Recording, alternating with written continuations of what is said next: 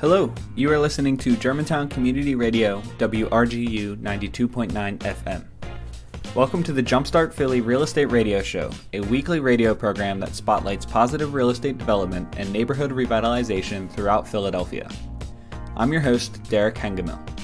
Jumpstart Philly is a unique community development program that trains, mentors, networks, and provides funding to aspiring real estate developers in seven different Philadelphia neighborhoods including Germantown, where the program was founded. Jumpstart believes that you can do well by doing good and focuses on removing neighborhood blight, scattered site rehab, creating a healthy mix of affordable and market rate housing, and avoiding gentrification through slow, steady growth and keeping wealth local. Interviews are conducted during Jumpstart Germantown's weekly Jumpinar series on Monday nights at 7 p.m., held via Zoom webinar. For more information about these events, you can check out the events page at jumpstartgermantown.com.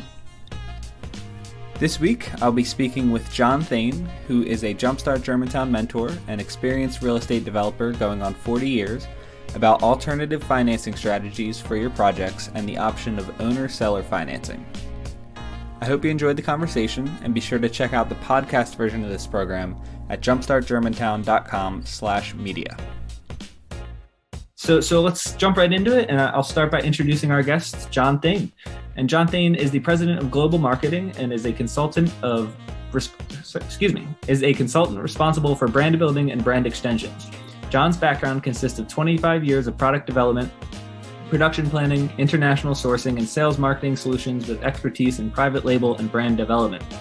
Additionally, John is manager is a managing member of Cool Holdings and has built one of the largest Rita's Italian Ice franchise groups, serving Rita's Italian Ice in as many as seven stores, plus the Dell and Mann Music Centers. While building Cool Holdings, John has developed three commercial properties that house Rita's franchises. And over the many years, John has developed over 30 residential and commercial properties and currently serves as a mentor in the Jumpstart Germantown program. And since 2019, John is a contributing member of the Summit Club podcast, which is a business podcast magazine featuring relevant business topics and customized podcasts for targeted corporate communication of information. So when you're not listening to our podcast, you can head over to, uh, to John's and check that out for some other great content. Um, so, so let's just start by uh, maybe John, you can tell us what your topic's going to be tonight and, and introduce yourself to everybody in the call. Absolutely, and thanks for that wonderful introduction. I'm I, I'm, I'm, it seems like I've done a lot. Actually, I think it really reflects on the fact that I'm just really old. so I've been around for a long time. Uh, but it, you know, it take you know this concept, and you know, when I was approached by Jumpstart and asked for a concept that I would I would like to speak on, it was alternative financing because alternative financing allowed me to really get into the business of real estate ownership and development at a very young age, 21, but it allowed me to uh, build a portfolio probably before I had the really financial strength to, to make some of the transactions that I made early in my career. Um, but let, us just take a second and, and look, there's a number of different alternative uh, financing uh, methods out there. Uh, if you don't want to go to a bank, there's always the old friends and family. You know, as so many people do that. Uh, it's worked for many people, and it also can provide, or, you know, uh, cause some difficulties. You know, sometimes doing business with friends and family isn't as easy as it should be, and usually it's not as structured as it should be. Consequently, someone always has a different expectation. So I kind of set that aside. I actually had a mentee a while back who was going to set up a small scale REIT and develop his own real estate investment trust, uh, which was a way that he could get friends and families and uh, business associates involved in real estate development that he would run and manage. Uh, certainly, you know, a little bit more advanced strategy and something that, you know, when you do have more properties under your management and you're doing bigger deals may be an option. Uh, but the most relevant, and I think the one that we should focus on, is really owner or seller financing. Mm-hmm. Uh, it's it's a lot more common than people think, It's also one that a lot of times novice investors don't think about. We, we always think about, you know, what can we do with a bank? What does the FHA offer? Are there SBA loan packages if it's commercial? Uh, what does PIDC have, you know, uh, as far as different offers? Is there a first time homeowner, homeowners, uh, you know, uh, offer out there? And the last one we, we generally think about is asking the owner of the property, hey, would you finance this property? I would like to buy it. And, uh, you know, quite often you're able to develop not only very favorable terms, uh, but you're able to, you know, execute the deal. It's a lot easier. I mean, I, in fact, last week I applied for a commercial loan. The bank asked me for 52 pieces of documentation from tax returns all the way down. I'm not sure. I, I, had, I didn't read the full email. It was so daunting, but I think my shoe size may have been involved as well. So uh, this this is the one thing you're able to avoid with with owner financing. It's much easier. It's much faster. And uh, if you don't have either strong credit, any credit, or even poor credit. It's a way for you to get into the real estate business without the scrutiny that a bank or finance company is going to show. Great. Great. Yeah. Thanks, John. That was a great way to set us up. And, and we're going to dig into a lot of the things you mentioned there, like including the friends and family financing. And uh, maybe we can briefly talk about that advanced strategy of a real estate investment trust that you, you mentioned. But uh, before we get into that, I think it's important to, to um, paint the picture of what what this is an alternative to. Uh, you hear alternative financing strategies. What what is an alternative to? You know, what are the traditional methods that you're you're uh, subverting by by choosing some of these? I mean, you're talking banks, credit unions, any traditional lender. Uh, it you know could be the FHA. Those are usually administered by banks and other organizations. But you know, these are you know your, your traditional banks and so forth are going to require a lot of documentation. And what I've found, you know, in this COVID environment, I don't know whether it's my imagination, but it seems like they're they're asking for more documentation and more proof of your ability to repay the loans. So, you know, working directly with the owner, you're able to circumvent a lot of that. You know, uh, private individuals aren't going to go through the you know the rigorous credit checks. Uh, you know, background checks, you know, financial checks uh, that that your traditional banks are going to look for. Mm-hmm. And so, so, what sorts of other than you know not being uh, or not being super attracted to the amount of paperwork involved, like what, what sorts of things can limit one's ability to use um, like traditional lenders, like like a bank or a lending group? Well, I think one of the things that a lot of our, our uh, people that come through Jumpstart Germantown, we're looking for those opportunities. Oftentimes, those are, you know, the eyesore properties in a, in a community. Those are the properties that we can buy at a discount that have room to uh, allow you to go in and make the necessary repairs and still have the property appraised and provide you a profit. So, you know, if you find that profit or that property and it's not in terrific shape, well, it's probably also not a very financeable property or a property that a bank wants to necessarily get involved in. Now, yes, they may with a very experienced investor and an investor with a with a track history and uh, you know financial statements and so forth that the bank has confidence in. But you know, oftentimes if a if a, a, a novice investor shows up at a bank with a property that is in very poor condition, the bank is going to put a lot of conditions on that property being upgraded before they'll even grant the loan. Mm-hmm. You know, mm-hmm. there's a number of tools, and, and you know, as as you become more sophisticated as an investor, yes, you can go to the bank and get you know appraisals as completed and banks will loan against the finished value but they only do that if they know who you are you know have the you have the experience and most of all you have the assets to back up right. what you're trying to do. So this is a great tool. I bought my first property. It was a, it was a 16 unit property at age 21 and i had never purchased anything in my life on credit Mm-hmm. Never purchased a car.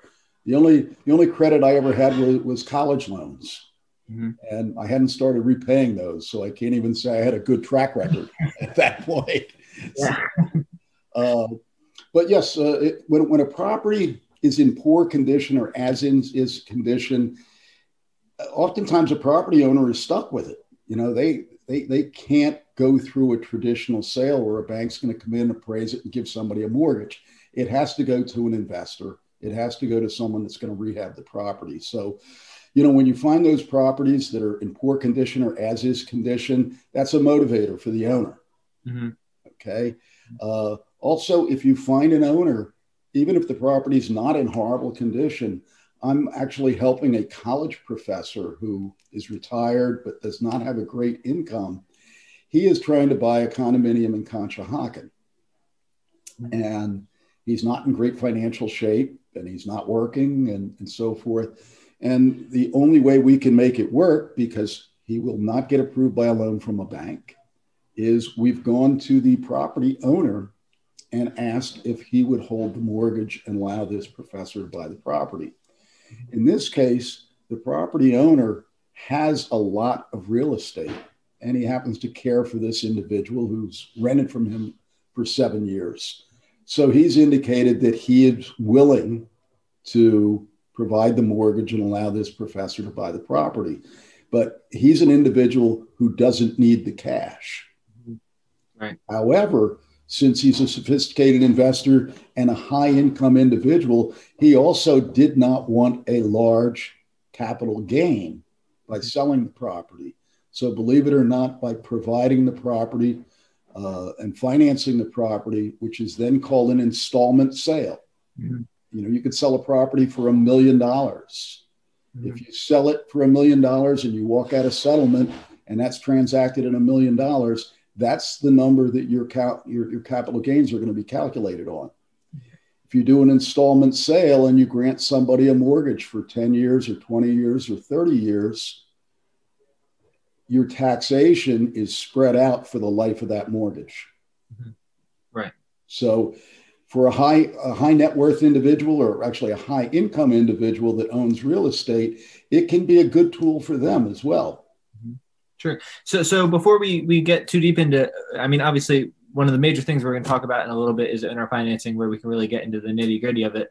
Um, but but but let's take a step back, and before we even start to look at alternative financing strategies, like how can people identify them and, and find them, and how can they they get to a position where they know people who who they can work with um, to develop these alternative finances. Um, I know one thing we talked about in our follow or our pre-session call was the importance of networking and, and, how difficult it is to network these days.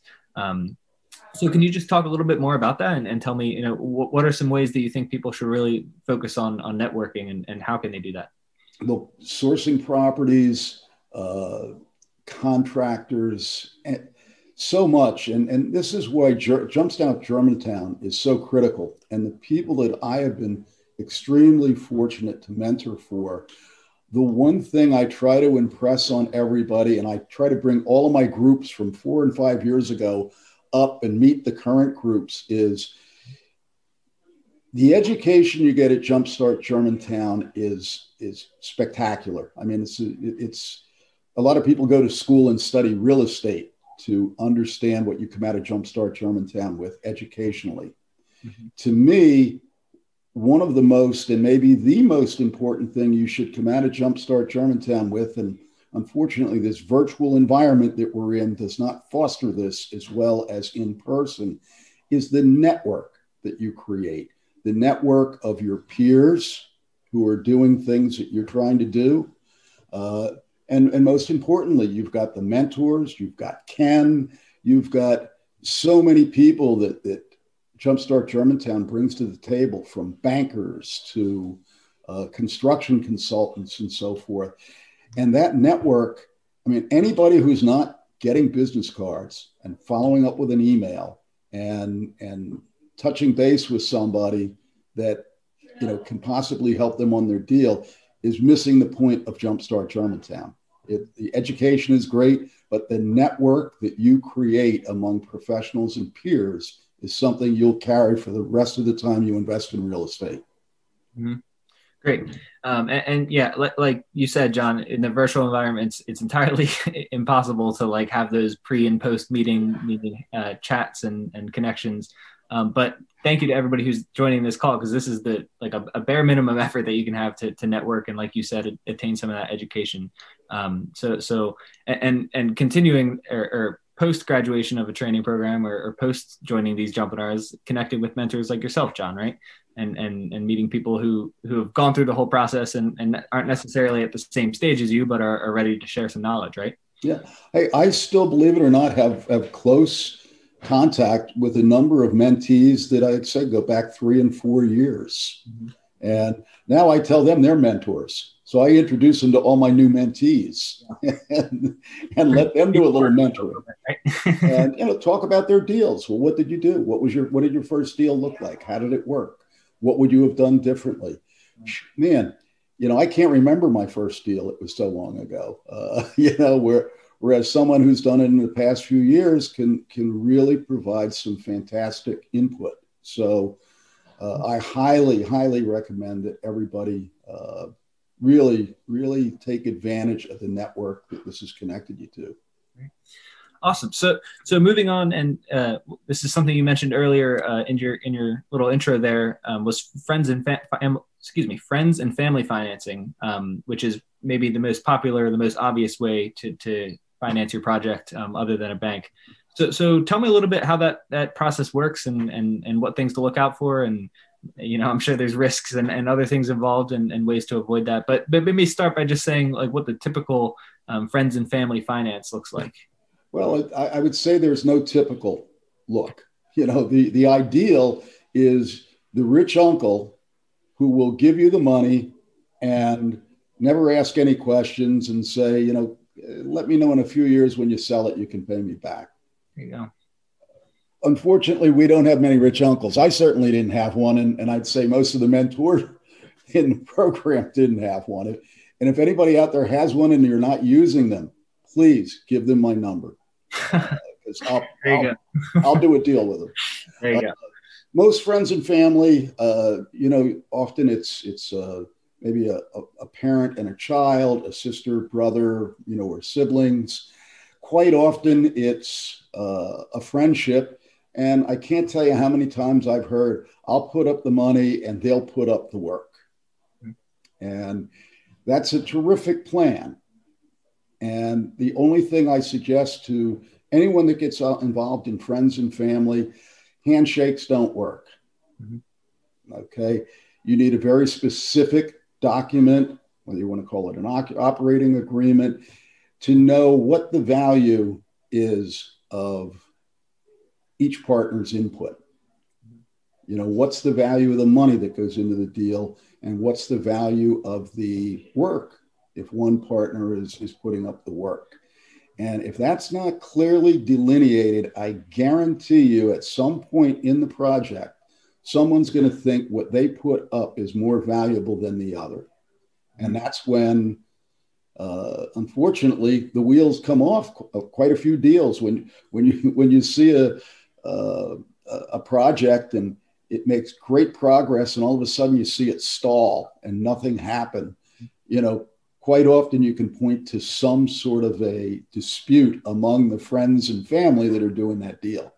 Mm-hmm. So if anybody gets involved in that, it can be terrific, especially if it's someone who wants to really just put up the money and be silent.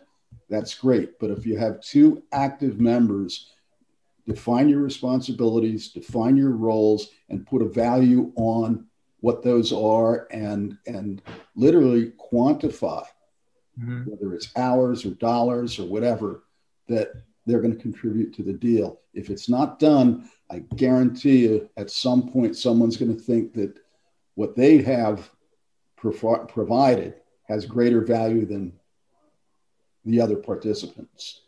Sure. So, so other than a, a disagreement of, uh, like you said, value of the deal and, and what the equity between the two members, like what are some other risks? I mean, I'm sure there's one where somebody could just drop off the face of the earth or, or worse, get injured or, or ill. And, and that, that can make the deal go sour too, right? Oh, look, there, there's all sorts of just natural things that could happen, whether it's injuries or, you know, illness, whatever that can can derail a partnership and and uh, or a friends and family deal. Ultimately, your any deal that you have should be able to stand on its own without having you know well in, in, the event that one person were to go away i mean let's just say you it's a financier and a and the other participant is a contractor mm-hmm. well if that contractor for whatever reason could not complete the project for illness disability or whatever the project has to still be able to work if you bring in outside contractors right. to finish the project. If the numbers only work with someone putting up all their labor free, then the deal probably right you know is not a deal you should be doing you know the one thing that, that you know jumpstart germantown teaches you is when you buy estimating and properly estimating your renovation costs and making sure the spread at the end of the deal is sufficient to make the deal worthwhile. And, and if it if it works right, yes, you do the deal. If it works wrong, then no, your your, your Jumpstart Germantown's not going to back you. Right. So, you know, you've got to take the same philosophy if you're if you're doing this with alternative financing, whether it's friends and family or an you know owner seller backed financing. Right. And, and those sorts of contingencies, like you said, like considering the person who was supposed to do all the, the labor, you know, get, breaks their leg, can't do any of it, and they, they can't give up that free um, that free work. Is that sort of thing outlined in the documents that the, the two parties are signing? Uh, like like how? I mean, you said an operating agreement is what it may be called, um, but like how detailed do you think that contract should be? like how? Uh, you know, what I've found often is they need to be as they, they, they need to be very detailed and oftentimes, if there's a dispute, I guarantee you they'll never be detailed enough. Right. But you know, let's just say there's a particular deal, and the, the person who was putting up the labor was going to put up the equivalent of twenty thousand dollars in labor mm-hmm. as as their contribution. Let's just say they're disabled, and an outside contractor has to come in, and their cost is fifteen thousand dollars. Well, there should be an offset and if there's a specific number in there that that that working partner was putting up twenty thousand dollars in labor, and you have to go outside for fifteen, well then there should be a clear, you know, uh, document that indicates that that would represent an offset to their return. Sure. So is that something that that you think is absolutely required that a lawyer uh, drafts up, or is that something that two people can do independently from lawyers? look, I mean, if if if people have experience in in agreements and so forth, you know, certainly they can draw up the agreement between themselves. Uh, it would it would be great to have an attorney or somebody take a look at it and make sure there's enough uh, uh, heretofores and therefores in there, which uh, these days cost about five hundred dollars per hour. But uh, it's probably good to make sure that it's structured so that it's it's legally sound. But I think the individuals between themselves can develop a, an agreement from a financial point of view as to what the contributions are going to be. And if they can frame that up, you know, an attorney in, in pretty simple order can actually put that into a form that's enforceable. If you're just tuning in, this is a conversation with John Thain, who is a Jumpstart Germantown mentor and experienced real estate developer going on 40 years, about the alternative financing strategies you have for your projects and the option of owner seller financing. Thanks for listening to the Jumpstart Philly Real Estate Radio Show on Germantown Community Radio, WRGU 92.9 FM. I hope you're enjoying the discussion. Jumping back into the, the conversation, I want to um, touch on something that, that you mentioned earlier, which was um, an individual. I think you said it might have been a mentor or mentee of yours had had set up a real estate investment trust um, after they had kind of grown out of that friends and family financing. Um, we don't have to go too deep on, on this, but I think it is uh, certainly a valuable option for people who might see that as, as something they can do. Um, what did that look like, and, and what are the advantages of having one of these REITs? Um, well, I mean, these are, these are these are complicated. Uh, it, it's not an easy document, but you know, again, there's attorneys out there that are familiar with this that could draw one up.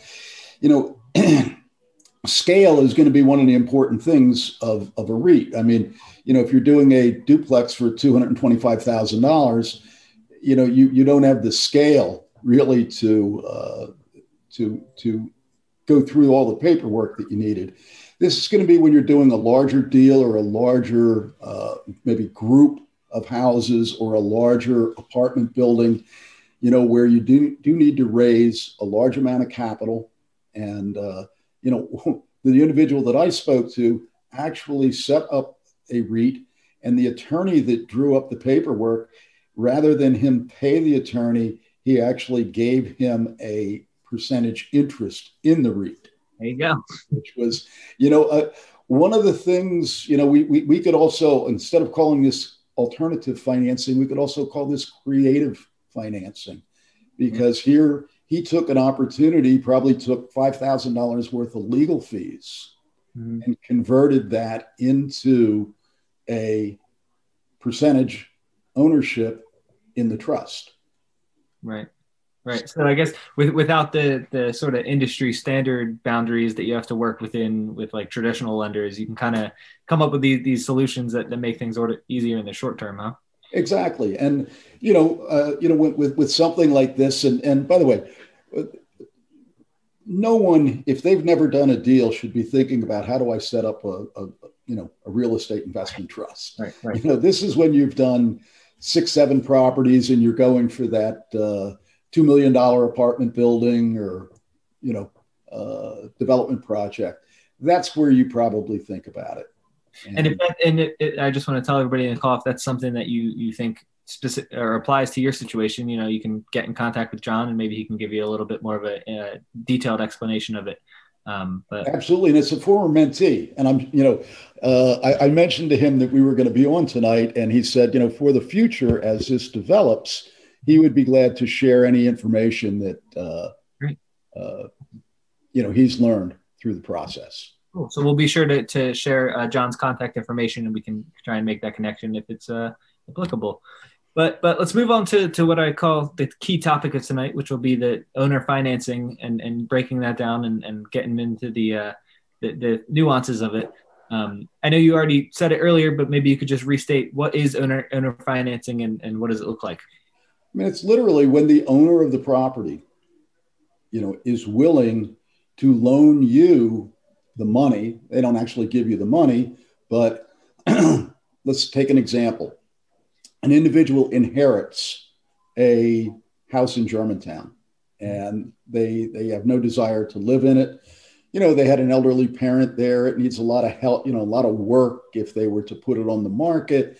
And you approach that person and say, I will buy the house as is.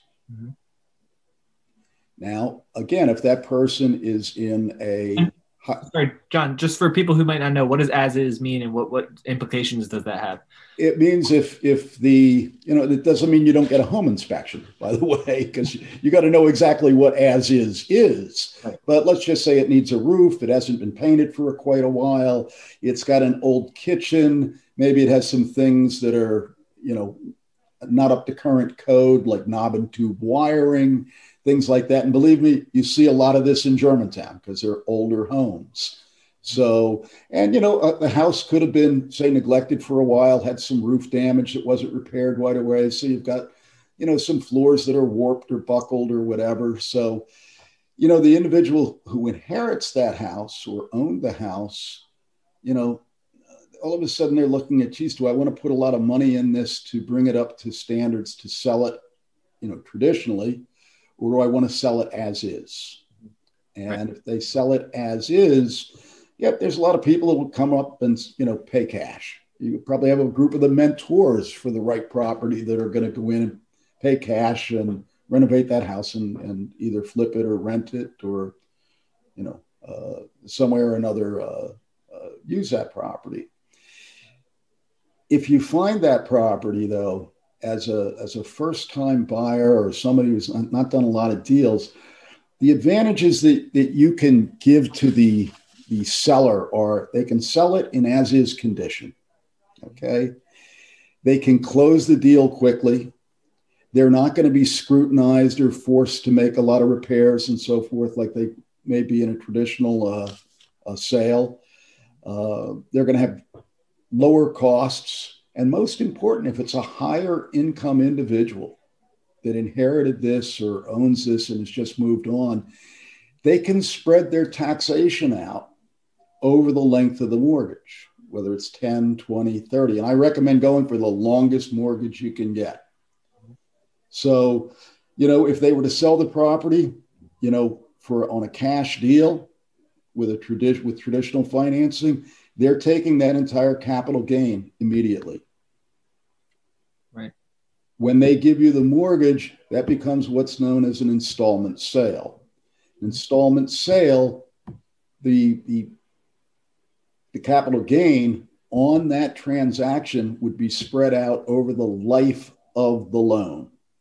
Mm-hmm. So let's say if it's a 30 year loan, let's just say someone made 300,000 on the property. If they sell it traditionally, they've got a $300,000 gain, assuming, you know, it's 100% exposed. If they give somebody a 30 year mortgage, well, it's now 300,000 divided by 30. Mm-hmm. So they're only picking up, if my math is correct, 10,000 per year in income or in capital gain. Of course, there's going to be interest and so forth, expense that they'll pick up as well. Uh, but you know that's that's a big advantage to someone who doesn't want to you know get hit with a big tax bill right away. Yeah, totally. Um, and, and or I'll, I'll let you keep going. I, I want to. Well, yeah. and, and, the other thing is, if somebody has inherited this, or say they they they bought it and they moved, and maybe they rented it for years, but they don't want the aggravation of, of renting anymore. You know, for people that own property that don't particularly want to manage it, or they don't want to own it anymore, a lot of times you make their lives just a lot simpler by taking it off their hands. And if you give them you know, a reasonable price, an easy transaction, monthly income, and you know, without tremendous tax consequences, believe it or not, you're doing them a favor. Mm-hmm. Yeah.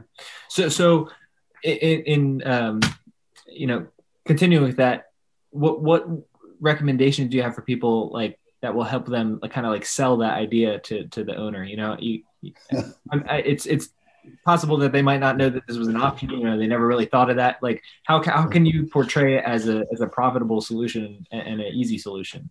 You know, and, and you you come on come along a good point. You know, there's a lot of buyers that don't know this exists. There's a lot of sellers that don't know. Yeah, right. That they have this. So you know, as an option, it's very important that you understand what the you know what your goals are obviously but what the seller's goals are. And and obviously you've got to put together a, a proposition that makes sense to the owner and seller of that property. And you've got to literally be able to sell them on the advantages of the deal. And, you know, if I'm speaking to that seller, I'm going to say, look, I can make this very easy for you. We can close this deal quickly. I'll take the property as is. You can defer your capital gains. You're going to get a monthly income. If you want and you don't want to be stuck in this forever, we can put a balloon payment on this where I will pay off the loan in five years or seven years. The mortgage will be secured by the property. So if I ever failed at what I did, you'll get the property back. So it's not like it's going to go away and and you know you have no security on this. I'm going to make your life easier because you no longer have to manage this property. And then believe it or not, you got to sell yourself. Mm-hmm. I'm young, I'm hungry. This is something I want to do. I've got the resources to do it. Mm-hmm. I've got the desire to do it, and I've got the time to do it. Mm-hmm. And you know, believe it or not, there's some people out there that are, that are going to admire the fact that you're willing to undertake a project like this. Mm-hmm. Mm-hmm. So, so you know, is owner financing or, or seller financing is it common? Is, I mean, you said m- many people don't know about it, but you know, how often do you think it really takes place, and is it difficult? Is it easy? Um, you know, like you said, people there's a there's an education gap between people who know about it and the people who use it. Um, so, like, what what what is the the truth about you know like its its usability or, or its success? You know, I, I I don't I can't quote a statistic on how frequently it's used. Uh, you know, I would say it's it's used more frequently than most people think. I know I've used it five or six times uh, in my career. Mm-hmm. Uh, like I said, I'm working with a with a college professor at this point who does not have a great income or retirement that the owner of his property is is willing to consider it. So you don't know unless you ask. Now, here's the other side to that, and it's it's a part of the of, of, getting owner financing is identifying properties mm-hmm. that lend themselves or you know are appropriate for owner financing you know if a property is in tough shape it's a, it's part of an estate that and it's gone neglected for a long time uh, you know possibly if it's if it's an older person that's going into you know, a smaller, you know, they don't need a large house, they're downsizing or they're going into assisted living. Uh, there, there's any number of options. So I think you have to I kind of identify who's a candidate for this.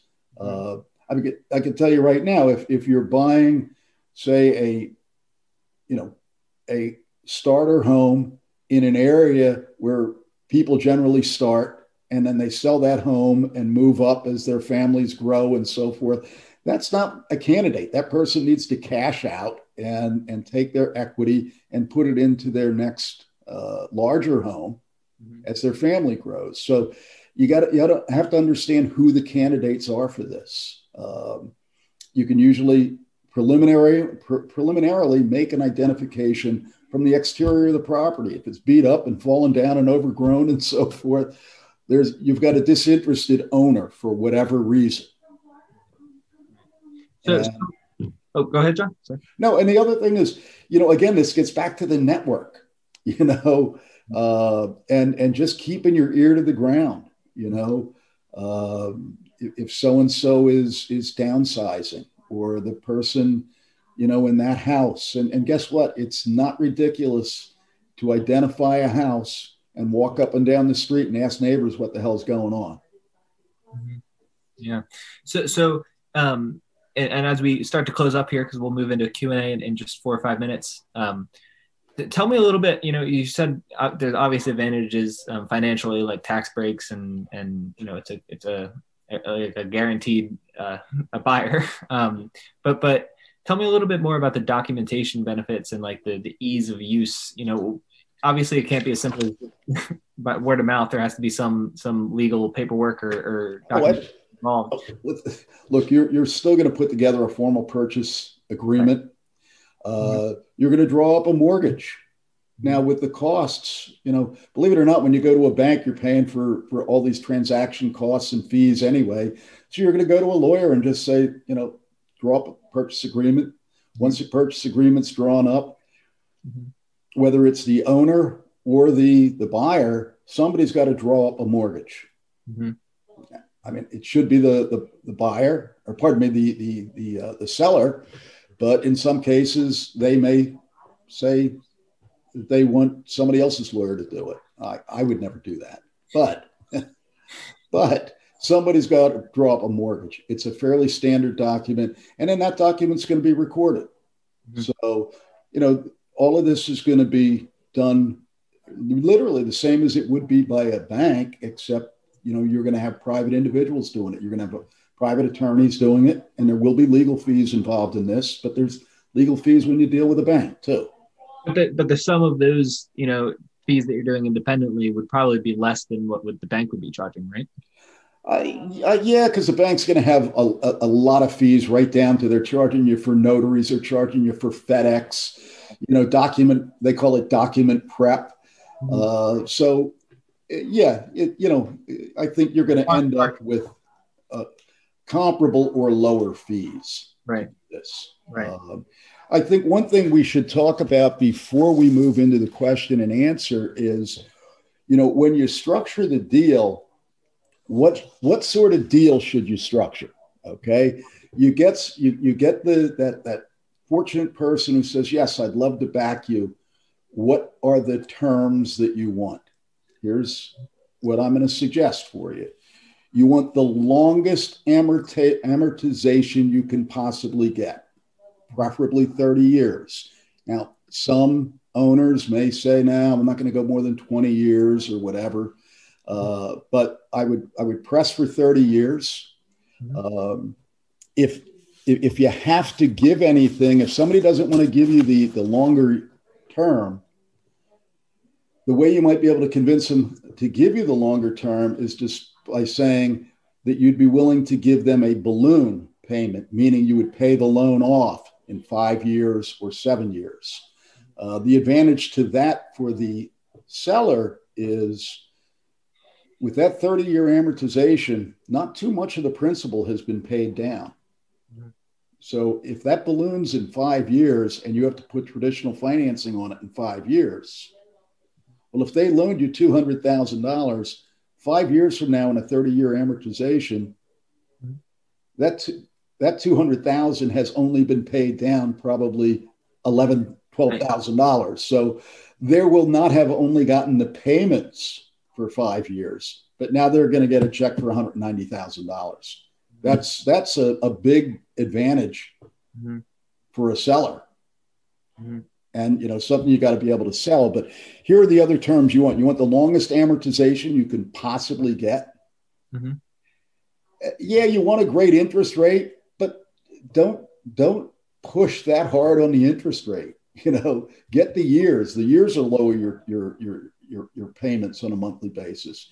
You know right now interest rates three you know three percent. Well even for an investor you're probably talking four four and a quarter you know, if you have to pay five or six percent, that's still a terrific rate, you know. Yeah. And if and you know, if you have to trade rate for years, trade the rate for years. Mm-hmm. Um, and you know, like I say, use that use that balloon. If you get into this property, you renovate it properly, just like you do in a Jumpstart Germantown deal.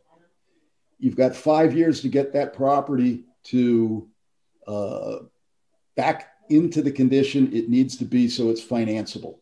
Mm-hmm. Right. At that point, between the discount that you got the property for, five years of hopefully appreciation, mm-hmm. not to mention the appreciation you get from making the repairs, you can easily refinance that, that property and pay off the original owner financer. Awesome. John, well, that wraps up our, our conversation. And, and I just want to thank you again so much for, for dedicating the time tonight to come and uh, educate our community. Thanks again. Oh, a pleasure. A pleasure. Uh, this is one of the, uh, uh the great privileges I have is to work with Jumpstart Germantown. So thanks for the opportunity. And I thank Ken and everybody who participates in the program. It's, it's truly one of the great programs that exist not only in Philadelphia, but hopefully it goes throughout the rest of the country. And that concludes my conversation with John Thain, who is a Jumpstart Germantown mentor and experienced real estate developer going on 40 years about the alternative financing strategies for your projects and the option of owner seller financing. Next week, I'll be speaking with Mariah Levin, who is Philly Office Retail's CFO, about what you need to know about bookkeeping as a beginner in the real estate development world. The interviews on this program are recorded during Jumpstart Germantown's weekly Jumpinar series, which takes place via Zoom webinar every Monday night at 7 p.m. If you'd like to participate in the live Q&A with our guest, be sure to head to jumpstartgermantown.com/events and register for next week's Jumpinar. And if you're interested in starting a Jumpstart program in your own community, you can visit gojumpstart.org to see our how-to guide and open source training workbook. Thanks so much for listening to the Jumpstart Philly Real Estate Radio Show on Germantown Community Radio, WRGU 92.9 FM. And be sure to tune in next week.